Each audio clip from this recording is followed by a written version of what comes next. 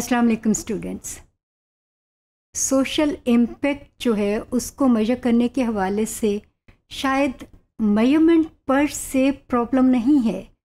वो भी है, लेकिन उसको क्वांटिफाई करना, उसको इन टर्म्स ऑफ़ नंबर्स लाना जो है, वो एक बड़ा प्रॉब्लम है। और चूँकि सोशल वैल्यूज़ को क्वांटिफाई करना जो है, वो मुश्किल है इसलिए हम सादा ज़बान में कह देते हैं कि मेज़रमेंट जो है वो मुश्किल है। सो so, मेज़रमेंट तो केस स्टडी से भी हो सकती है एक स्टोरी से भी हो सकती है। किसी का केस अगर सक्सेस स्टोरी है वो बयान करके लेकिन उसको क्वांटिफाई करना नंबर की टर्म्स में लाना जो है शायद बड़ी मुश्किल वो है।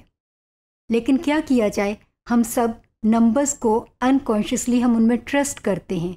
हम सारी ज़िंदगी नंबर की टर्म्स में गुजारते हैं। Number of years salaries in dollars in rupees मकान का size number of years spent in the school ये सारी चीज़ें जो हैं, अगर आप, हम रियलाइज़ भी नहीं करते कि हम इन सबको क्वांटिफाई करते हैं।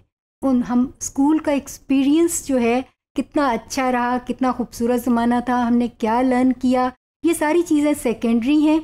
दस साल गुजारे या ग्यारह साल आपने सोलह साल की एजुकेशन ली या अठारह साल की एजुकेशन, ज़्यादा इम्पोर्टेंट जो है, वो नंबर ऑफ़ ईयर्स हैं। तो इसी तरह सोशल इम्पेक्ट जो है, वो जो वैल्यू है सोशल एंटरप्राइज की, उसको क्वांटिफाई करना जो है, वो ट्रिकी है। दरअसल ट्रिक यही है कि उसको नंबर्स की टर्म्स में जिस पर लोग भरोसा करते हैं बेनिफिशरीज इन्वेस्टर्स गवर्नमेंट्स ऑर्गेनाइजेशंस खुद बाज़ात एंटरप्रेन्योर जो है वो तो उसको किस तरह से किया जाए? ये जो क्वांटिफाइंग का अमल है, ये पिछले स्टेप से हम कंटिन्यू करेंगे जब स्टेक होल्डर्स के साथ कंसल्टेशन की जाती है। उस कंसल्टेशन में सोशल एंटरप्रेन्योर मुख्तलिफ़ उनसे सवाल पूछता है और उन सवालों के जो जवाब हैं बेसिकली वो इंडिकेटर्स हैं कि मुख्तलिफ़ स्टेक होल्डर्स किन टर्म्स में वैल्यू को देखते हैं। उस एंटरप्राइज़ की जो गुड्स और सर्विसेज़ हैं, उन्हें किस हिसाब से वैल्यू देते हैं, उनके नज़दीक उनकी क्या अहमियत है? इन्हें हम इंडिकेटर्स कहते हैं। सोशल एंटरप्रेन्योर जो है, अमूमन उस कन्वर्सेशन को रिकॉर्ड करता है और उसमें जो इंडिकेटर्स बार बार आते हैं, मुख्तलिफ़ स्टेक होल्डर्स एक ही चीज़ को मेंशन करते हैं कि हमारे नज़दीक वैल्यू ये है, हमारे नज़दीक आउटकम ये है, हमारे ख्याल में हम इस बात को अहम समझते हैं। तो इन इंडिकेटर्स को वो चुनता है, उनको प्रायोरिटाइज़ करता है। सबसे ज़्यादा दफ़ा क्या मेंशन किया गया, उसके बाद क्या, उसके बाद क्या? और जो टॉप थ्री फोर इंडिकेटर्स होते हैं, अमूमन वो उनको चुन लेता है। सोशल एंटरप्रेन्योर को बैलेंस करने की ज़रूरत होती है कि ये ऐसे इंडिकेटर्स हों, बाजू का ज़रूरी नहीं है कि जो टॉप थ्री और फोर जो इंडिकेटर्स हैं, वो सारे क्वांटिटीज़ को ही मेजर करते हों। मसलन size of impact distances volumes ये चीज़ें ज़रूरी नहीं है कि उन इंडिकेटर्स में हों। उसमें स्टोरीज़ भी हो सकती हैं। तो इंडिकेटर्स जो हैं, वो एक ऐसा मिक्स होना चाहिए, जिसमें वो स्टोरी भी आ जाए स्टेक होल्डर की, उसकी जो सेंस है जो वैल्यू वो सोशल उस एंटर एंटरप्राइज को करता है, वो भी कन्वे हो जाए। लेकिन साथ साथ कोई नंबर्स क्वांटिटीज़ जो हैं, वो भी सोशल एंटरप्रेन्योर के पास आ जाए, जिससे वो अपना इम्पेक्ट जो है, वो एक्सेप्टेड टर्म्स में बयान कर सके।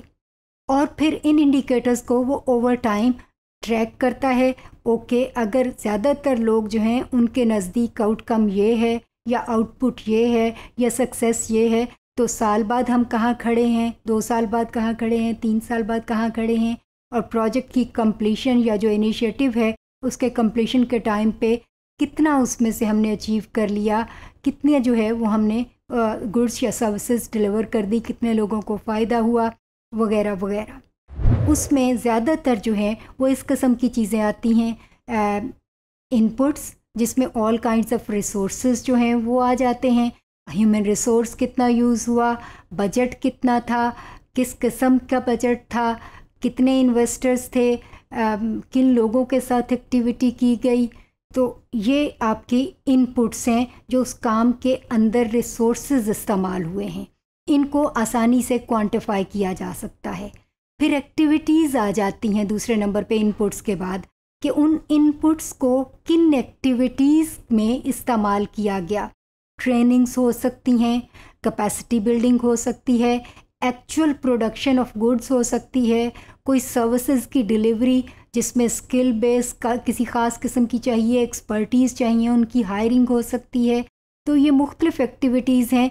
अगेन इनको क्वांटिफाई किया जा सकता है कि कितनी जो है वो प्रोडक्ट बनाई गई, कितनी गुड्स प्रोड्यूस की गई, कितनी सर्विसेज़ डिलीवर की गई कितने लोगों की कवरेज हुई, कितने एरिया की कवरेज हुई, ये चीज़ें जो हैं, इन्हें क्वांटिफाई किया जा सकता है।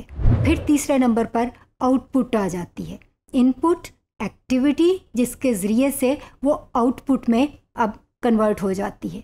मींस के लोगों को जो फ़ायदा हुआ मार्केट किया जब आपने गुड्स को तो नंबर ऑफ़ यूनिट्स सोल्ड अगर सर्विसेज़ दी हैं तो कितनी सर्विसेज़ कितने लोगों को क्या उनका जो है स्टैंडर्ड था वगैरह इस किस्म की चीज़ें जो हैं वो आउटपुट्स में आ जाती हैं।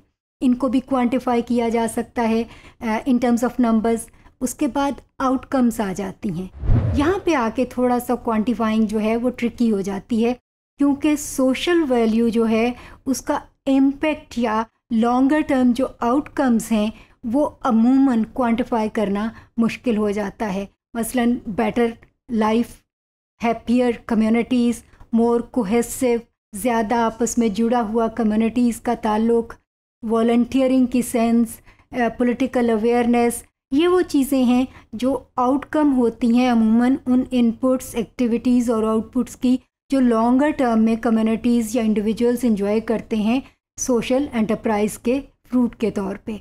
लेकिन इनको मेजर करना जो है, ख़ास तौर पर नंबर की टर्म्स में मुश्किल है।